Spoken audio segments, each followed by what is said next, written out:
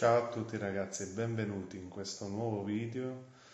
Oggi ragazzi video nostalgico. Vi parlerò, vi confiderò i miei tre giocatori preferiti in assoluto del Milan, partendo dal presupposto che ehm, avendo eh, essendo io nato nel 92 e quindi avendo, avendo 29 anni, eh, parlerò dei calciatori che ho potuto vedere, che ho potuto ammirare, eh, quindi per dire i Gullit, i Van Basten, i Baresi, non li nominerò pur essendo a, conoscenza, a conoscenza e pur avendoli visionati in seguito, però non li ho per così dire vissuti e quindi vi parlerò di quelli, ripeto, che ho potuto ammirare, che ho potuto eh, vedere giocare eh, e per cui ho potuto ampiamente esultare. Prima di cominciare ragazzi però vi prego di lasciare un like al video, iscrivetevi al canale attivate la campanella, in descrizione tutti i link dei profili social di Milan Inside e ricordatevi sempre il eh, sito internet www.accmilaninside.com allora ragazzi la nostalgia in questo video sarà tanta tanta tanta. E a qualcuno potrebbe scappare una lacrimuccia. E vi, vi parlerò di tre giocatori, tre giocatori uno per ruolo, difensore, un centrocampista dove intesa pure la tre quarti e un attaccante eh, che hanno particolarmente fatto battere il mio cuore eh, e che ci hanno, come ho detto prima, ci hanno permesso di godere, di vincere, di esultare tanto. Ci hanno permesso di esultare ed alzare tanti tanti trofei. Alzati spesso dal mio primo calciatore preferito che ora possiamo eh, tifare, per così dire, in, in un altro ambito, non più con la casacca addosso, ma in giacca e cravatta, ed è Paolo, Paolo Maldini, capitano storico numero 3, eh, perché entra in questa top 3 dei miei personalissimi giocatori preferiti perché, perché Maldini credo rappresenti in assoluto e non me ne vogliano i più grandi di età il miglior difensore della storia del calcio. Ehm, sappiamo bene che lui eh, nasce e il suo ruolo principale era il terzino, terzino sinistro, nonostante fosse eh, destro, o per meglio dire ambidestro, ma usava il sinistro eh, alla pari dell'altro piede e poi ne, utilizzato e si è disimpegnato egregiamente anche da centrale.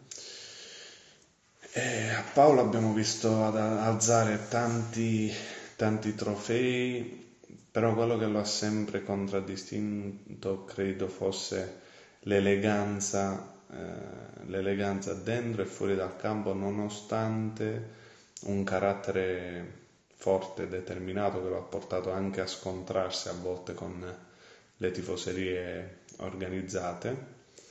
Però quello che mi rimane impresso di Maldini è un, è un retroscena, è una, è una chicca relativa alla finale persa di Champions con Liverpool, 3-0, 3-3 persi ai rigori eh, dove praticamente lui l'indomani da vero capitano eh, raccolse i cocci di una squadra praticamente a pezzi, chiamando uno a uno ogni singolo giocatore della rosa e promettendo di fatti una sorta di, eh, per così dire, vendetta che puntualmente arrivò nel 2007 e eh, che vide il Milan vincere la Champions. Ehm, il fatto che ora sia ancora strettamente legato a Milan eh, attenua un po' la sua mancanza il suo ritiro, eh, confidando anche del fatto che il suo essere campione, il, ehm, la sua classe eh, già si è cominciata a vedere, ma eh, si vedrà anche da dirigente. Il secondo nome, il centrocampista, ripeto, dove è intesa anche la tre quarti, è, è Ricardo Isexos dos Santos Leite, più comunemente conosciuto come Cacà.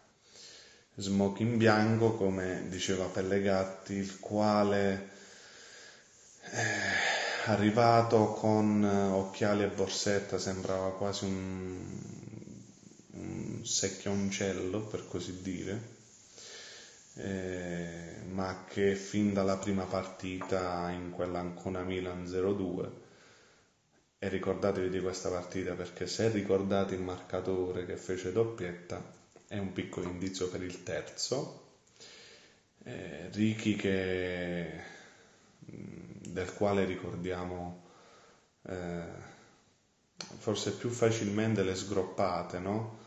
eh, stile eh, Teo, eh, le sgroppate palla al piede famosissima, quella col Fenerbahce, pallone d'oro, eh, incarnava il trequartista eh, perfetto che sapeva sia segnare sia assistere, era anche dotato di una discreta fisicità, mm, abbinata però a una tecnica, ripeto, a una velocità, più che velocità di base, una progressione, ecco, eh, fantastiche.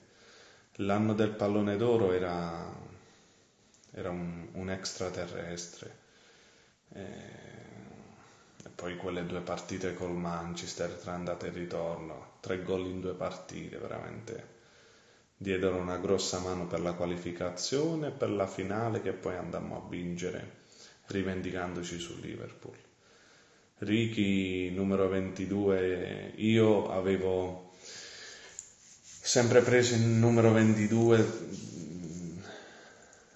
Mm, diciamo nelle, nelle squadre, ehm, sulle magliette che prendevo del Milan in quel periodo era sempre, era sempre il suo numero presente. E addirittura ehm, quando mi, eh, uscì a doppione nelle figurine lo misi attaccato al retro del telefonino di allora. E andavo letteralmente pazzo per Ricky. Che poi tornò anche per amore del Milan, eh, sia pure in una fase finale di carriera, però eh, al Milan eh, chi passa dal Milan si innamora e prima o poi torna. E l'ultimo, l'indizio, eh, si collega a un ucraino che fece doppietta quella partita che è Andriy Shevchenko, il quale ha fatto una caterba di gol, tanti, tanti, tanti. Eh, pallone d'oro anche lui, ma ciò che era strepitoso era il fatto che incarnasse in un solo giocatore eh, la possibilità di eh, sia, ecco, incarnava in, singola, in, un singolo calciatore sia la prima che la seconda punta, va tutto. Fisicità, corsa, tecnica, destro, sinistro, colpo di testa, acrobazie, calci di punizione, stato rigorista, tutto, era completo. Quando se ne andò fu un colpo al cuore ed era stato più, più che lui a volersene andare, era stato un po' pressato allora dalla moglie che voleva che i figli imparassero l'inglese, ecco perché se ne andò a Londra.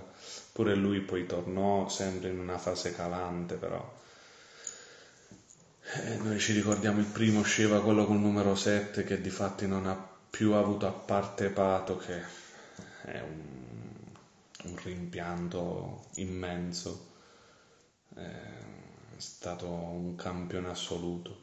Ne cito tre semplicemente per fare una top 3, ma sarebbero da fare una lista, boh, forse top 10, top 20.